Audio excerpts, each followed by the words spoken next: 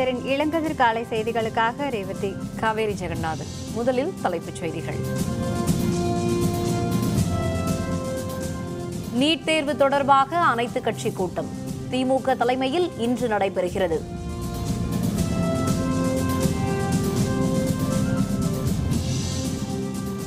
ஆட்சியை அசைத்து பார்க்க முடியாது. எம்ஜிஆர் விழாவில் முதல்வர் பழனிசாமி உறுதி.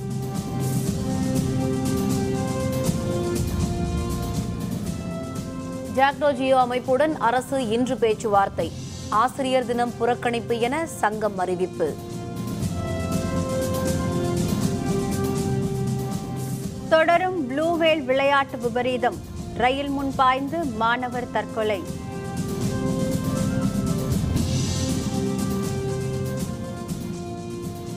இலங்கைக்கு எதிரான ஐந்தாவது ஒருநாள் போட்டி. ஐந்து பூஜ்ஜியம் என தொடரை வென்றது இந்திய அணி. நீட் தேர்வுக்கு எதிராக திமுக தலைமையில் சென்னையில் இன்று அனைத்துக் கட்சி கூட்டம் நடைபெறவுள்ளது. நீட் தேர்வில் அடைந்த தோல்வி காரணமாக அரியலூர் மாணவி அனிதா தற்கொலை செய்து கொண்டார். அனிதாவின் உடலுக்கு நேரில் அஞ்சலி செலுத்திய திமுக செயல் தலைவர் மு க ஸ்டாலின் அனிதாவின் குடும்பத்திற்கு ஆறுதல் கூறி பத்து லட்சம் ரூபாய் நிதியளித்தார். பின்னர் செய்தியாளர்களிடம் பேசிய ஸ்டாலின் நான்காம் தேதி நீட் தேர்வு தொடர்பாக அனைத்து கட்சி கூட்டம் நடைபெறும் எனவும் நீட் தேர்வு பிரச்சினையை அடுத்த கட்டமாக எப்படி அணுகுவது என இந்த கூட்டத்தில் ஆலோசிக்கப்படும் என்றும் தெரிவித்தார். அதன்படி இன்று மாலை ஐந்து மணியளவில் சென்னை அண்ணா அறிவாலயத்தில் ஸ்டாலின் தலைமையில் அனைத்து கட்சி கூட்டம் நடைபெறவுள்ளது. இதற்காக காங்கிரஸ் மதிமுக தமிழ் மாநில காங்கிரஸ் இரு கம்யூனிஸ்ட் கட்சிகள் விடுதலை சிறுத்தைகள் இந்திய யூனியன் முஸ்லீம் லீக் மனிதநேய மக்கள் கட்சிகளுக்கு அழைப்பு அனுப்பப்பட்டுள்ளது. அதிமுக பாரதிய ஜனதா பாமக கட்சிகளுக்கு அழைப்பு அனுப்பப்படவில்லை. இன்றைய அனைத்துக் கட்சி கூட்டத்தில் நீட் தொடர்பாக முக்கிய முடிவு எடுக்கப்படும் என தெரிகிறது. திருவள்ளூர் மாவட்டம் பொன்னேரியில் எம்ஜிஆர் நூற்றாண்டு விழாவில் பங்கேற்ற முதல்வர் பழனிசாமி தொண்டர்கள் நிர்வாகிகள் இருக்கும் வரை அதிமுக ஆட்சியை யாராலும் அசைத்து பார்க்க முடியாது என்று கூறினார். இந்த விழாவில் துணை முதல்வர் ஓபிஎஸ் அமைச்சர்கள் எம்பிக்கள் எம்எல்ஏக்கள் உள்பட பலர் கலந்து கொண்டனர்.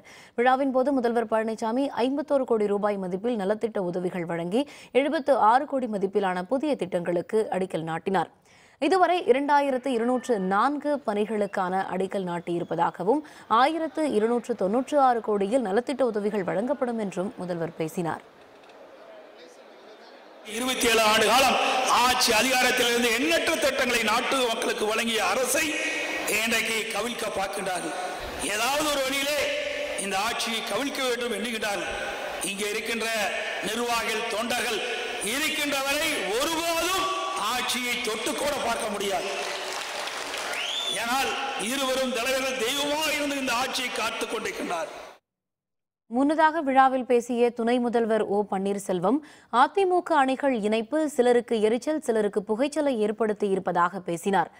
ஜாதகம் சரியில்லாதவர்கள் ஜோதிடம் பார்க்கிறார்கள் கடவுளுக்கு செய்யும் பூஜையில் ஊமத்தம்பூ இருக்கக்கூடாது என்றும் பன்னீர்செல்வம் கூறினார். அரும்பாடுபட்டு அம்மா உருவாக்கிய இந்த ஆட்சிக்கு சிலர் கெடு விதித்துக் கொண்டிருக்கிறார்கள். ஜாதகம் சரியில்லாத இவர்கள் சிலர் இந்த ஆட்சி நீடிக்காது என்று ஜோசியம் பார்த்து கொண்டிருக்கிறார்கள். கடவுளுக்கு பூஜை செய்ய மல்லிகை பூ இருக்கலாம் ரோஜா பூ இருக்கலாம் சாமந்தி பூ இருக்கலாம் ஆனால் ஊமத்தம்பூ இருக்கக்கூடாது. தெய்வத்தின் ஆட்சியிலே துரோகம் செய்தவர்கள் இருக்கக்கூடாது. சென்னை அதிமுக தலைமை அலுவலகத்தில் நாளை காலை பத்து முப்பது மணி அளவில் அதிமுக எம்எல்ஏக்கள் கூட்டம் நடைபெறும் என அறிவிக்கப்பட்டுள்ளது.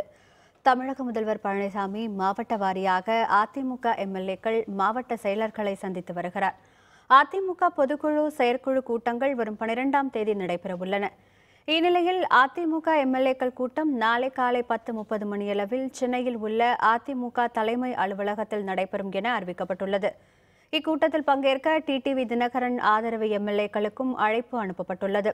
எம்எல்ஏக்கள் கூட்டத்தை தொடர்ந்து கட்சி நிர்வாகிகள் மாவட்ட செயலர்களின் கூட்டமும் நடைபெறவுள்ளது. காலவரம்பற்ற வேலைநிறுத்தம் அறிவித்துள்ள ஜாக்டோ ஜியோ அமைப்புடன் தமிழக அரசு இன்று பேச்சு நடத்தவுள்ளது.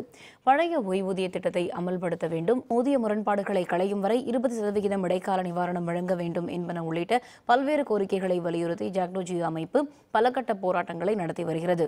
ஆர்ப்பாட்டம் கோட்டை நோக்கி பேரணி அடையாள வேலைநிறுத்தம் போன்றவற்றை நடத்தியுள்ள நிலையில் வரும் ஏழாம் தேதி முதல் காலவரம்பற்ற வேலைநிறுத்தம் செய்யப்போவதாக ஜாக்டோ ஜியோ அறிவித்துள்ளது. இந்நிலையில் தலைமைச் செயலகத்தில் அமைச்சர்கள் செங்கோட்டையன் ஜெயக்குமார் உதயகுமார் தலைமையில் ஜாக்டோ ஜியோ அமைப்பினருடன் இன்று பகல் பனிரெண்டு முப்பது மணி அளவில் பேச்சு நடைபெற இருக்கிறது.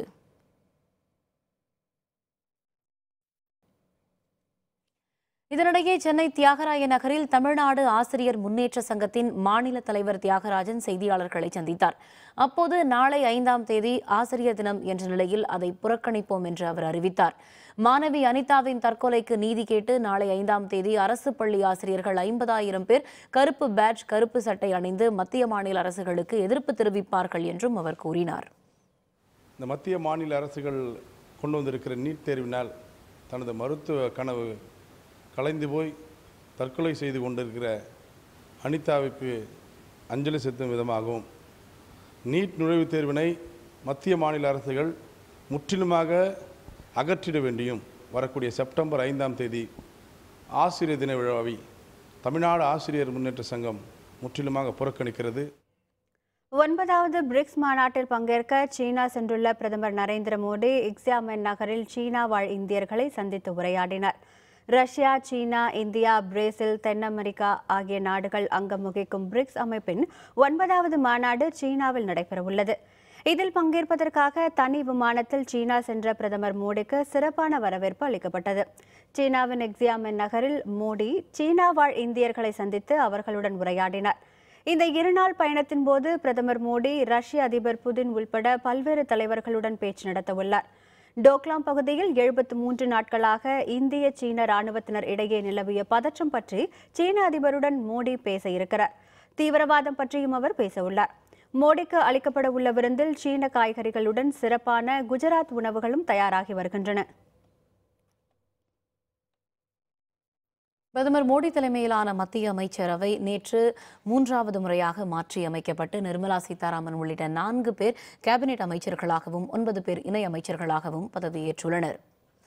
வர்த்தகத்துறை இணை அமைச்சராக இருந்த நிர்மலா சீதாராமன் பாதுகாப்புத்துறை அமைச்சராக கேபினெட் அந்தஸ்திற்கு உயர்த்தப்பட்டு நேற்று பதவியேற்றார். தமிழகத்தைச் சேர்ந்த கப்பல் மற்றும் சாலை போக்குவரத்து துறை இணை அமைச்சரான பொன் ராதாகிருஷ்ணனுக்கு கூடுதலாக நிதித்துறை அளிக்கப்பட்டுள்ளது. ரயில்வே அமைச்சராக இருந்த சுரேஷ் பிரபு தொழில் மற்றும் வர்த்தகத்துறை அமைச்சராகியுள்ளார். அவரது இடத்தில் ரயில்வே அமைச்சராக பியூஷ் கோயல் நியமிக்கப்பட்டுள்ளார். உமாபாரதிக்கு குடிநீர் மற்றும் நீர்வளத்துறை ஒதுக்கப்பட்டுள்ளது. நேற்றைய பதவியேற்பு விழாவை உமாபாரதி புறக்கணித்தார். ஆயிரத்து தொள்ளாயிரத்து தொண்ணூறாம் ஆண்டு அத்வானி ரத யாத்திரை வந்தபோது பீகார் மாநிலம் சமஷ்பூரில் ஆட்சியராக இருந்த ஆர் கே சிங் அத்வானியை கைது செய்தார். நேற்று மோடியின் அரசில் ஆர். கே. சிங் அமைச்சராக இடம் பிடித்தார். நிதிஷ்குமாரின் ஐக்கிய ஜனதா தளம் கட்சிக்கு மத்திய அமைச்சரவையில் நேற்று இடம் கிடைக்கும் என்று எதிர்பார்க்கப்பட்டது. அப்படி இடம் கிடைக்காததால் நிதிஷ்குமார் ஏமாற்றம் அடைந்ததாக கூறப்படுகிறது. மத்திய பாதுகாப்பு அமைச்சராக பொறுப்பேற்றுள்ள நிர்மலா சீதாராமன் வரும் ஆறாம் தேதி பொறுப்பேற்க இருக்கிறார். முன்னாள் பெண் பிரதமர் இந்திரா காந்தி பாதுகாப்புத்துறையை குறுகிய காலம் அவரது பொறுப்பில் வைத்திருந்தார். ஆனால் பெண்கள் யாரும் தனிப்பொறுப்பில் இதுவரை பாதுகாப்பு அமைச்சராக இருந்ததில்லை. இந்நிலையில் நேற்று மூன்றாவது முறையாக நடந்த அமைச்சரவை மாற்றத்தில் நிர்மலா சீதாராமன் உள்பட நான்கு இணை அமைச்சர்கள் கேபினெட் அமைச்சர்களாக பதவியேற்றுள்ளனர். இவர்களில் நிர்மலா சீதாராமன் பாதுகாப்புத்துறை அமைச்சராக உயர்த்தப்பட்டுள்ளார். இதன் மூலம் இந்திய வரலாற்றில் பாதுகாப்பு அமைச்சர் பதவியை ஏற்கும் முதல் பெண் என்ற பெருமையை அவர் பெற்றுள்ளார். ஆறாம் தேதி பொறுப்பேற்க இருப்பதாக நிர்மலா சீதாராமன் கூறியுள்ளார். सिर्फ एक आध घंटे घंटे पहले इस खबर को अ, क्योंकि अरुण जेटली जी जो अभी रक्षा मंत्री के नाते जापान जा रहे हैं उनके वापस आने के बाद मैं चार्ज लेने वाली हूँ ஆபத்தான ப்ளூவேல் விளையாட்டு மத்திய பிரதேசத்தில் மேலும் ஒரு இளைஞரின் உயிரை குடித்திருப்பது அதிர்ச்சியை ஏற்படுத்தியுள்ளது பிலிப்பைத்தின் என்ற ரஷ்ய உளவியல் மாணவரால் உருவாக்கப்பட்ட ஆபத்தான இணையதள விளையாட்டு ப்ளூவேல் இந்த விளையாட்டு இதை விளையாடும் சிறுவர் சிறுமிகள் இளைஞர்களின் உயிரை தொடர்ந்து பறித்து வருகிறது. இந்தியாவில் தமிழகம் கேரளம் மகாராஷ்டிரம் உள்பட பல்வேறு இடங்களில் பலர் ப்ளூவேல் விளையாட்டுகளுக்கு பலியான நிலையில் மத்திய பிரதேச மாநிலம் தாமோ பகுதியில் பதினொன்றாம் வகுப்பு மாணவரின் உயிரையும் ப்ளூவேல் குடித்துள்ளது. சாத்விக் பாண்டே என்ற அந்த மாணவர் ப்ளூவேல் விளையாட்டின் படிப்படியான சவால்களை ஏற்று கடந்த இரண்டு நாட்களாக ரயில் தண்டவாளத்திற்கு வந்து சென்றிருக்கிறார். இந்நிலையில் கடைசி கட்ட சவாலை ஏற்று ரயில் முன் செல்ஃபி எடுத்துக்கொண்ட அவர் ரயில் முன் பாய்ந்து தற்கொலை செய்துள்ளார். இது அதிர்ச்சியை ஏற்படுத்தியுள்ளது. இதேபோல குஜராத்தைச் சேர்ந்த அசோக் மலூனா என்ற மாணவர் ப்ளூவேல் விளையாட்டின் இறுதி கட்டமாக ஆற்றில் குதித்து தற்கொலை செய்தது குறிப்பிடத்தக்கது. இனி நியூஸ் ட்வீட்ஸ். செய்திகள் சில வரிகளில் பார்க்கலாம். நீட் தேர்வுக்கு எதிராக திமுக இன்று கூட்டும் அனைத்து கட்சி கூட்டத்தில் தனது ஆதரவாளர்கள் பங்கேற்க மாட்டார்கள் என டிடிவி தினகரன் தெரிவித்துள்ளார். இந்த கூட்டத்தில் மக்கள் நலன் கருதி தினகரன் ஆதரவாளர்கள் பங்கேற்பார்கள் என சசிகலாவின் சகோதரர் திவாகரன் கூறியிருந்த நிலையில் பெரம்பலூரில் செய்தியாளர்களை சந்தித்த தினகரன் இவ்வாறு கூறியுள்ளார். நீட் தேர்வு பிரச்சனையால் மாணவி அனிதா தூக்கிட்டு தற்கொலை செய்து கொண்ட நிலையில் அனிதாவுக்காக தமிழக அரசு அறிவித்த ஏழு லட்சம் ரூபாய் நிதியை பெற அனிதா குடும்பத்தினர் மறுப்பு தெரிவித்துள்ளனர். அரியலூர் மாவட்ட ஆட்சியர் லட்சுமி பிரியா ஏழு லட்சம் ரூபாய்க்கான காசோலையை வழங்க சென்றபோது அதை ஏற்க மறுத்த குடும்பத்தினர் நீட் தேர்வு ரத்தாகும் வரை தமிழக அரசின் நிதியுதவியை பெறமாட்டோம் என்று தெரிவித்தனர். இலங்கை சிறையில் உள்ள ராமநாதபுரம் புதுக்கோட்டை நாகை மாவட்டங்களைச் சேர்ந்த எண்பது மீனவர்கள் அந்நாட்டு நீதிமன்றத்தில் கடந்த ஒன்றாம் தேதி விடுதலை செய்தது. விடுவிக்கப்பட்ட அவர்களை இலங்கை கடற்படை இந்திய கடற்படையிடம் இன்று ஒப்படைக்க உள்ளது. மீனவர்கள் எண்பது பேரும் இன்று மாலை தமிழகம் திரும்புவார்கள் என எதிர்பார்க்கப்படுகிறது. ஓணம் திருநாள் இன்று கேரளம் உள்பட நாடு முழுவதும் உற்சாகமாக கொண்டாடப்பட்டு வருகிறது. கொச்சியில் நடந்த ஓண திருவிழாவில் வெளிநாட்டவர்களும் கேரள உடை அணிந்து ஓணத்தை கொண்டாடி மகிழ்ந்தனர். கேரளம் முழுவதும் மக்கள் புத்தாடை அணிந்து இனிப்புகள் உண்டு பொன்னூஞ்சலாடி ஓணத்தை சிறப்பாக கொண்டாடி வருகின்றனர்.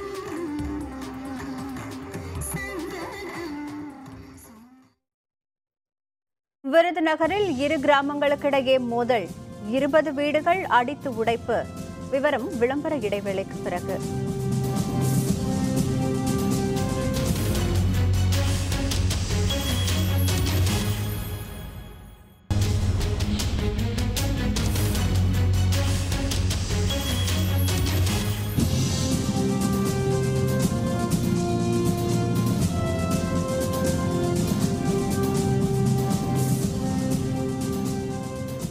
செய்திகள் தொடர்கின்றன. மேகதாது பிரச்சனையில் பச்சை துரோகம் செய்த தமிழக அரசை கண்டித்து நாற்பத்தெட்டு மணி நேரத்தில் போராட்டம் நடத்திய கட்சி மதிமுக என வைகோ கூறியுள்ளார். விருதுநகர் மாவட்டம் சூலக்கரையில் மதிமுக மாவட்ட துணை செயலர் லட்சுமணின் இல்ல விழாவில் அந்த கட்சியின் பொதுச் செயலர் வைகோ பங்கேற்றார். பின்னர் செய்தியாளர்களுடன் உரையாடிய வைகோ நீட் தேர்வு பிரச்சனையில் பிரதமர் மோடி நம்ப வைத்து கழுத்தறுத்து விட்டதாக கூறினார். அனிதா மரணத்திற்கு மோடி அரசுதான் காரணம் என்றும் வைகோ குற்றம் சாட்டினார். மேகதாட்டு அணை கட்டுவதற்கு தமிழக அரசு ஆட்சேபனை இல்லை என்று தமிழக அரசின் சார்பாக உச்சநீதிமன்றத்திலே வாதாடிய வழக்கறிஞர் கூறியதை கண்டித்து தமிழ்நாட்டுக்கு பச்சை துரோகம் செய்துவிட்டது இந்த அரசு அதிமுக அரசு என்று முதலமைச்சர் அலுவலகத்தை முற்றுகையிடப் போகிறோம் என்று சொல்லி நாற்பத்தெட்டு மணி நேரத்துக்குள் போராட்டம் நடத்திய ஒரே கட்சி தமிழ்நாட்டில் மறுமலர்ச்சி திராவிட முன்னேற்ற கழகம்தான் விருதுநகர் மாவட்டம் சாத்தூர் அருகே இரு பிரிவினருக்கிடையில் ஏற்பட்ட மோதலில் இருபது வீடுகள் சேதமாக்கப்பட்டன. தடுக்கச் சென்ற காவல்துறையினரும் தாக்கப்பட்டனர். சாத்தூர் அருகே உள்ள இரு ஊர்கள் கோபாலபுரம் மற்றும் இரவார்பட்டி. இதில் கோபாலபுரத்தைச் சேர்ந்த பள்ளி மாணவிகளை இரவார்பட்டி பள்ளி மாணவர்கள் கேலி செய்ததாக கூறி அவர்களை கோபாலபுரத்துக்காரர்கள் தாக்கியுள்ளனர். இதுபற்றி சாத்தூர் காவல் நிலையத்தில் கோபாலபுரத்தைச் சேர்ந்த பதினாறு பேர் மீதும் இரவார்பட்டியைச் சேர்ந்த ஏழு பேர் மீதும் வழக்கு பதிவு செய்யப்பட்டது. இந்நிலையில் இரவார்பட்டிக்காரர்கள் முப்பதற்கும் மேற்பட்டவர்கள் கோபாலபுரம் கிராமத்திற்குள் நுழைந்து இருபது வீடுகள் இருசக்கர வாகனங்களை அடித்து நொறுக்கினர். அப்போது தடுக்க முயன்ற ஐயாசாமி என்ற காவலரும் தாக்கப்பட்டார். தாக்கியவரை கைது செய்ய விடாமல் கிராம மக்கள் தடுத்ததால் காவல்துறை தடியடி நடத்தி ஏழு பேரை கைது செய்துள்ளது. இதையடுத்து நூற்றுக்கும் மேற்பட்ட காவல்துறையினர் இரு கிராமங்களிலும் குவிக்கப்பட்டனர். திருவாரூர் அருகே பள்ளி மாணவியை கேலி செய்ததை தட்டி கேட்டு தாக்கப்பட்டு உயிருக்கு போராடி வருகிறார்.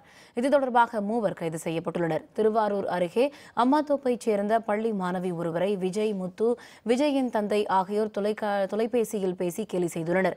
மாணவியின் உறவினர் கார்த்திகேயன் அவரது நண்பர் சுதன்ராஜ் ஆகியோர் இதை தட்டி கேட்டனர். அப்போது விஜய் முத்து உள்பட மூவரும் கார்த்திகேயனும் சுதன்ராஜையும் அரிவாள் கத்தி உருட்டைக்கட்டை மூலம் தாக்கியுள்ளனர். இதில் கார்த்திகேயனின் குடல் சரிந்து உயிருக்கு ஆபத்தான நிலையில் அவர் மருத்துவமனையில் அனுமதிக்கப்பட்டுள்ளார். இது தொடர்பாக திருவாரூர் நகர காவல்துறையினர் வழக்கு பதிவு செய்து தாக்கிய மூவரையும் கைது செய்துள்ளனர். ஆபத்தான ப்ளூவெல் விளையாட்டு தொடர்பாக மாணவ மாணவிகளுக்கு விழிப்புணர்வு ஏற்படுத்தும் பணி நடந்து வருவதாக புதுச்சேரி காவல்துறை தலைவர் சுனில்குமார் கௌதம் கூறியுள்ளார். புதுச்சேரியில் ப்ளூவேல் விளையாட்டால் மன அழுத்தத்திற்கு ஆளாகி கடற்கரை அருகே தற்கொலைக்கு முயன்ற பிரியா என்ற குத்துச்சண்டை வீராங்கனையை நேற்று ஒதியஞ்சாலை காவல்துறையினர் மீட்டு பெற்றோரிடம் ஒப்படைத்தனர். பிரியாவை மீட்ட உதவி ஆய்வாளர் கீர்த்தி காவலர் பாலமுருகன் ஆகியோருக்கு புதுச்சேரி காவல்துறை தலைவர் சுனில்குமார் கௌதம் பரிசு மற்றும் சான்றிதழ் அளித்து பாராட்டினார். பின்னர் செய்தியாளர்களை சந்தித்த டிஜிபி சுனில்குமார் கௌதம் ப்ளூவேல் விளையாட்டு தொடர்பாக குழந்தைகளை பெற்றோர்கள் கண்காணிக்க வேண்டும் என்றார் வாட்ஸ்அப் மூலமாக ப்ளூவேல் விளையாட்டு தொடர்பாக விழிப்புணர்வை ஏற்படுத்தி வருவதாகவும் அவர் தெரிவித்தார் Puducherry police have done uh, uh, an outstanding job uh, in saving the life of a uh, young girl of 21 years. She was uh, indulging in the game of uh, blue whale. Spread this awareness everywhere so that uh, people, uh, particularly young boys and girls, they don't play such games and their parents are uh, little careful. Nagai மாவட்டம் அக்கரைப்பேட்டை நம்பியார் நகர் மீனவ கிராமங்களிடையே ஏற்பட்ட மோதலில் பனிரெண்டு மீனவர்கள் காயமடைந்தனர். நாகப்பட்டினம் மீன்பிடி துறைமுகத்தை யார் பயன்படுத்துவது என்பதில் அக்கரைப்பேட்டை நம்பியார் நகர் மீனவ கிராமங்களிடையே ஏற்கனவே பகை இருந்து வந்தது. நேற்று மாலை பழைய துறைமுகம் அருகே இரு கிராம மீனவர்களிடையே மோதல் வெடித்தது. அரிவாள் உருட்டுக்கட்டை போன்றவற்றால் அவர்கள் தாக்கிக் கொண்ட நிலையில் அக்கரைப்பேட்டையைச் சேர்ந்த ரத்தனவேல் செந்தில் ஆகியோர் அரிவாளால் வெட்டப்பட்டு பலத்த காயமடைந்தனர். இவர்கள் இருவரும் காயமடைந்து மேலும் பத்து மீனவர்களும் நாகை அரசு மருத்துவமனையில் அனுமதிக்கப்பட்டுள்ளனர். இதனால் நாகை நகரில் போக்குவரத்து நிறுத்தப்பட்டு கடைகள் அடைக்கப்பட்டுள்ளன. நாகை துறைமுகம் அருகே கத்தி கம்பு உருட்டைக்கட்டைகளுடன் மீனவர்கள் குவிந்து வருவதால் அங்கு பதற்ற சூழல் நிலவுகிறது. காவல்துறையினர் அதிக அளவில் குவிக்கப்பட்டுள்ளனர். தருமபுரி மாவட்டத்தின் பல்வேறு பகுதிகளில் ஒரு மணி நேரத்திற்கு மேல் பெய்த மழையால் விவசாயிகளும் மக்களும் மகிழ்ச்சியடைந்தனர். தருமபுரி மாவட்டத்தில் நேற்று காலை முதல் வெயிலின் தாக்கம் அதிகரித்து காணப்பட்டது. இந்நிலையில் மாலை ஐந்து மணிக்கு மேல் வானம் மேகமூட்டத்துடன் தோற்றமளித்தது. இதைத் தொடர்ந்து தருமபுரி அடுத்த இரும்பத்தூர் திப்பம்பட்டி கிருஷ்ணாபுரம் கம்பை நல்லூர் உள்ளிட்ட பல பகுதிகளில் மழை தொடங்கியது. படிப்படியாக அதிகரித்த மழை ஒரு மணி நேரத்திற்கும் மேல் கொட்டி தீர்த்தது. இதனால் வெம்மை தணிந்து குளுமை நிலவியதால் மக்களும் விவசாயிகளும் மகிழ்ச்சியடைந்தனர்.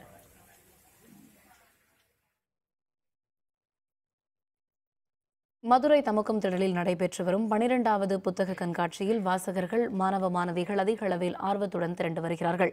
தென்னிந்திய புத்தக விற்பனையாளர் மற்றும் பதிப்பாளர் சங்கம் சார்பில் பனிரெண்டாவது புத்தக காட்சி மதுரை தமுக்கம் திடலில் கடந்த ஒன்றாம் தேதி தொடங்கியது. வரும் பனிரெண்டாம் தேதி வரை நடைபெற உள்ளது. புத்தக கண்காட்சியில் இருநூற்றி ஐம்பது அரங்குகளில் இரண்டு லட்சம் தலைப்பிலான புத்தகங்கள் வைக்கப்பட்டுள்ளன.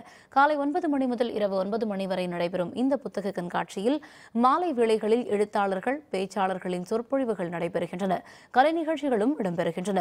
புத்தக ஆர்வலர்கள் இந்த வாய்ப்பை பயன்படுத்தி குடும்பத்துடன் புத்தக காட்சிக்கு வந்து புத்தகங்களை வாங்கிச் செல்கிறார்கள். நிறையா புக்ஸ் யூஸ்ஃபுல்லாக இருக்குது நிறையா புக்கு பார்த்தேன். நல்லா இருக்குது நிறையா புக்கு வாங்கியிருக்கேன். நல்லா யூஸ்ஃபுல்லான புக்ஸ்லாம் நிறையா இருக்குது எட்- எட்டாம் வகுப்பு முதலே புத்தகங்களை வந்து வாசிக்கிறத நம்ம தினசரி பயிற்சியாக வச்சுருந்தோம் அப்படின்னா எந்த போட்டித் தேர்வுமே நமக்கு ஒரு பொருட்டே அல்ல அப்படிங்கிறத நான் இங்கே பதிவு பண்ணிக்கிறேன். நம்ம மூளையை அந்த மாதிரி வந்து தூண்டுதல் ஏற்படுத்த வச்சுக்கிறணும். எப்படி நம்ம பழக்கிறோமோ அதே மாதிரி தான் பழக்க வழக்கம். எனக்கு நீட் பற்றின புக்ஸ் எல்லாம் கொ- கொஞ்சம் ரேராக தான் கிடைக்கிது. ஆனால் இங்கே எக்ஸிபிஷனில் வந்து நிறைய புக்ஸ் இருக்குது நீட் சம்மந்தமாக நிறைய guides books NCERT books CBSE புக்ஸ்லாம் இருக்கனால ரொம்ப யூஸ்ஃபுல்லாக இருக்குது குமரி மாவட்டத்தில் நேற்று மூன்றாயிரம் விநாயகர் சிலைகள் மேலதாளம் முழங்க ஊர்வலமாக எடுத்துச் செல்லப்பட்டு கன்னியாகுமரி கடலில் கரைக்கப்பட்டன. கன்னியாகுமரி மாவட்டத்தில் கடந்த இருபத்தி ஐந்தாம் தேதி விநாயகர் சதுர்த்தி விழாவையொட்டி மாவட்டம் முழுவதும் பத்தாயிரம் விநாயகர் சிலைகள் நிறுவப்பட்டிருந்தன. கடந்த ஒன்றாம் தேதி முதல் மூன்று நாட்களுக்கு அவற்றை கடலில் கரைக்க அனுமதி வழங்கப்பட்டிருந்தது. அதன்படி கடல் மற்றும் பல்வேறு நீர்நிலைகளில் விநாயகர் சிலைகள் கரைக்கப்பட்டு வருகின்றன. மூன்றாவது நாளாக நேற்று பாரதிய ஜனதா சார்பில் வைக்கப்பட்டிருந்த மூன்றாயிரம் விநாயகர் சிலைகள் நாகர்கோவில் நாகராஜா திடலிலிருந்து மேலத்தாளம் முழங்க ஊர்வலமாக எடுத்துச் செல்லப்பட்டு கன்னியாகுமரி கடலில் கரைக்கப்பட்டன. விநாயகர் ஊர்வலத்தை முன்னிட்டு ஏராளமான காவல்துறையினர் பாதுகாப்பு பணியில் ஈடுபட்டிருந்தனர்.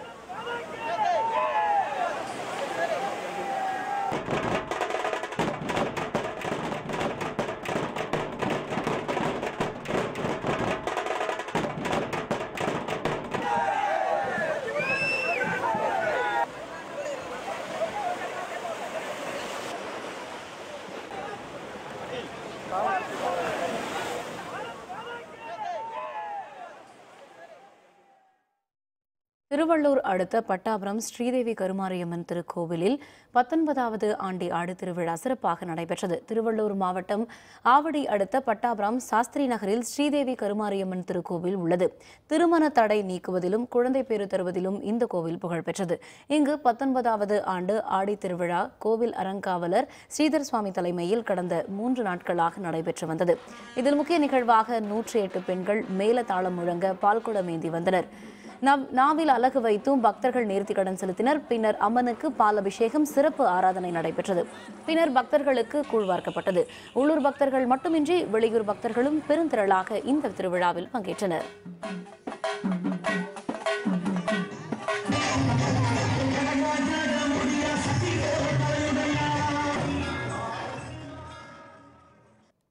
வடகொரியா மீது ராணுவ தாக்குதலா? தளபதிகளுடன் அதிபர் ட்ரம்ப் ஆலோசனை. விவரம் விளம்பர இடைவேளைக்கு பிறகு.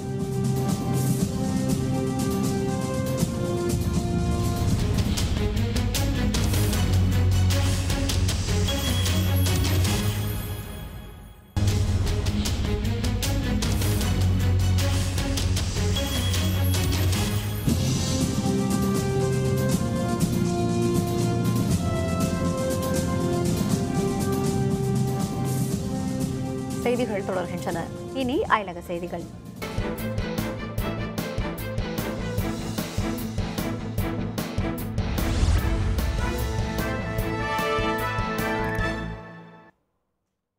ஹைட்ரஜன் குண்டு சோதனை நடத்திய வடகொரியா மீது என்ன நடவடிக்கை எடுக்கப்படும் என்ற கேள்விக்கு விரைவில் நாம் பார்ப்போம் என அமெரிக்க அதிபர் ட்ரம்ப் கூறியுள்ளார்.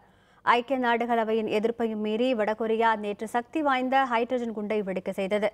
இதன் மூலம் ரிக்டர் அளவுகோலில் ஆறு புள்ளி மூன்று அளவுக்கு செயற்கை நிலநடுக்கம் ஏற்பட்டது. அது ஜப்பான் தென்கொரியா போன்ற நாடுகளை அதிர வைத்தது. இது வடகொரியா நடத்திய ஆறாவது அணு ஆயுத சோதனை. மேலும் கடந்த ஆண்டை விட பத்து மடங்கு அதிக சக்தி கொண்ட அணுகுண்டை வடகொரியா சோதித்துள்ளது. இதற்கு தென்கொரியா ஜப்பான் போன்ற நாடுகள் கண்டனம் தெரிவித்துள்ள நிலையில் அமெரிக்க அதிபர் டிரம்பிடம் செய்தியாளர்கள் வடகொரியா மீது தாக்குதல் நடத்துவீர்களா என கேட்டனர். அதற்கு விரைவில் நாம் பார்ப்போம் என அமெரிக்க அதிபர் ட்ரம்ப் கூறியுள்ளார். இது பற்றி ட்விட்டரில் செய்தி வெளியிட்டுள்ள ட்ரம்ப் ராணுவ ஜெனரல்கள் கெல்லி மேட்டிஸ் மற்றும் இதர தளபதிகளை சந்தித்து வடகொரியா பற்றி பேச இருப்பதாக குறிப்பிட்டுள்ளார். வடகொரியாவுடன் வணிக உறவு வைத்துள்ள நாடுகளுடன் அனைத்து வணிக தொடர்பையும் துண்டிக்க இருப்பதாகவும் ட்ரம்ப் ட்விட்டரில் கூறியுள்ளார்.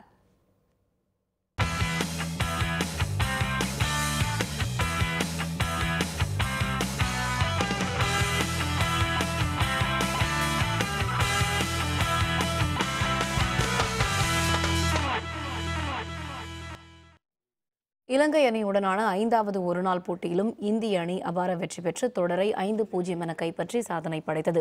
இந்தியா இலங்கை அணிகளுக்கு இடையிலான ஐந்தாவது மற்றும் கடைசி ஒருநாள் போட்டி கொழும்பில் நேற்று நடைபெற்றது. டாஸ் வென்ற இலங்கை அணி முதலில் பேட்டிங் செய்தது. அந்த அணி நாற்பத்தி ஒன்பது புள்ளி நான்கு ஓவர்களுக்கு அனைத்து விக்கெட்டுகளையும் இழந்தது. இருநூற்று முப்பத்தெட்டு ரன்கள் மட்டுமே எடுத்தது. இந்திய பந்து வீச்சாளர் புவனேஸ்வர் ஐந்து விக்கெட்டுகளை கைப்பற்றினார். இதையடுத்து இருநூற்று முப்பத்தி ஒன்பது ரன்களை வெற்றி இலக்காக கொண்டு இந்திய அணி ஆடத் தொடங்கியது. ரோஹித் சர்மா ரஹானே ஆகியோர் தொடக்கத்தில் விழுந்தாலும் கேதார் ஜாதவ் விராட் கோலி ஆகியோர் சிறப்பாக ஆடி ரன் குவித்தனர். விராட் கோலி முப்பதாவது சதத்தை அடித்ததுடன் ஆயிரம் ரன்களை கடந்து அவுட் ஆகாமல் நூற்று பத்து ரன்களை குவித்து சாதனை படைத்தார். முடிவில் இந்திய அணி நாற்பத்தி ஆறு புள்ளி மூன்று ஓவர்களில் நான்கு விக்கெட்டுகளை இழந்து இருநூற்று முப்பத்தொன்பது ரன்களை எடுத்தது. இதன் மூலம் ஆறு விக்கெட் வித்தியாசத்தில் இந்தியா வென்றதுடன் போட்டித் தொடரை ஐந்து பூஜ்ஜியம் என்று கைப்பற்றியது. இலங்கையுடனான ஐந்தாவது ஒருநாள் போட்டியில் இந்திய அணியின் முன்னாள் கேப்டனும் விக்கெட் காப்பாளருமான தோனி நூறாவது ஸ்டம்பில் செய்து புதிய உலக சாதனையை படைத்தார். இலங்கை வீரர் தனஞ்சயாவை அவுட் ஆக்கியதன் மூலம் ஒருநாள் போட்டிகளில் அதிக ஸ்டம்பிங் செய்த விக்கெட் கீப்பர்களில் தோனி முதலிடம் பிடித்துள்ளார். இலங்கை விக்கெட் கீப்பர் சங்ககராவின் தொன்னூற்றி ஒன்பதாவது ஸ்டம்பிங்கை சாதனை தாண்டி தோனி புதிய வரலாறு படைத்திருக்கிறார். மேலும் நேற்றைய போட்டி தோனியின் முன்னூற்று ஓராவது ஒருநாள் போட்டி என்பது குறிப்பிடத்தக்கது. இனி வரலாற்றில் இன்று.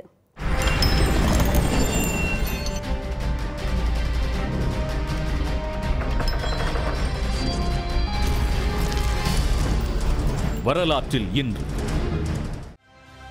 செப்டம்பர் நான்கு ஆயிரத்து தொள்ளாயிரத்து எழுபத்தி எட்டு பெரு வெள்ளத்தில் வட இந்தியா தவித்த நாள். இயற்கையின் கோபத்துக்கு மனிதர்கள் ஆளாவது அவ்வப்போது நடக்கும். அப்படி ஏற்பட்ட ஒரு தருணத்தில் பெரு வெள்ளத்தால் வட இந்தியா வரலாறு காணாத அழிவை சந்தித்தது. ஆயிரத்தி தொள்ளாயிரத்தி எழுபத்தி எட்டாம் ஆண்டு செப்டம்பர் மாதம் நான்காம் நாள் வானிலையின் கோபம் இருபது லட்சத்திற்கும் மேற்பட்ட மக்களை வீடிழக்க செய்தது. யமுனை ஆறு அளவு கடந்து பெருக்கெடுத்ததால் புதுதில்லியில் உள்ள சுமார் இரண்டு லட்சத்தி ஐம்பதாயிரம் பேர் தங்கள் வீடுகளிலிருந்து வெளியேற வேண்டிய சூழல் ஏற்பட்டது. மேற்கு வங்கத்தில் சுமார் ஒன்றரை கோடி மக்கள் இந்த மழை வெள்ளத்தால் கடும் பாதிப்புகளை சந்திக்க நேரிட்டது. சாலைகள் பாதிப்பு குடிநீர் மாசுபட்டது என பல்வேறு துயரங்களை உண்டாக்கியது பெருவெள்ளம். கடும் மழை வெள்ளம் ஆடிய கோர தாண்டவத்தால் வட இந்திய மக்கள் பாதிக்கப்பட்ட நாள் வரலாற்றில் இன்று. மீண்டும் தலைப்புச் செய்திகள். நீட் தேர்வு தொடர்பாக அனைத்து கட்சி கூட்டம் திமுக தலைமையில் இன்று நடைபெறுகிறது.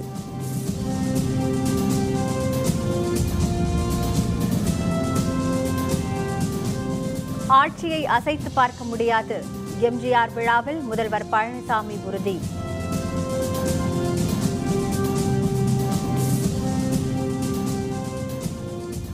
ஜாக்டோ ஜியோ அமைப்புடன் அரசு இன்று பேச்சுவார்த்தை. ஆசிரியர் தினம் புறக்கணிப்பு என சங்கம் அறிவிப்பு. தொடரும் ப்ளூவேல் விளையாட்டு விபரீதம். ரயில் முன்பாய்ந்து மாணவர் தற்கொலை.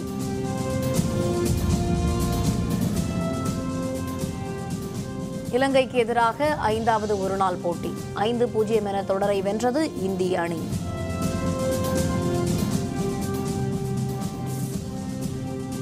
இத்துடன் வேந்தரின் இளங்கதிர் காலை செய்திகள் நிறைவடைந்தன. மீண்டும் பகல் ஒன்று முப்பது மணிக்கு வேந்தரின் உச்சி வேளை பகல் செய்திகளில் சந்திப்போம். வணக்கம். வணக்கம்.